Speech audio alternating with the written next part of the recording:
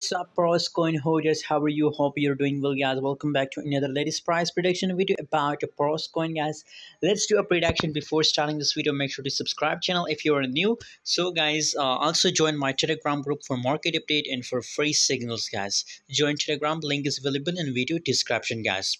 0.8189 US dollar the current price of Prosper coin and 7.50% gains in last 24 hours. 0.8217 is the highest. 0. 75 73 is the lowest of last 24 hour gas. So now what should we do in a right now situation? Let's see last 24 hour price chart. Oh my god. And it's still in a pumping guys highly pump prosper coin guys and you know if it break this level guys if it break this uh, uh, resistance level guys so in this case i'm sure uh, we can expect a huge pump in a prosper coin guys so if you're holding so hold guys and if it make a breakout in this case i recommend to buy more and more prosper coin yes thanks for watching. See you in next video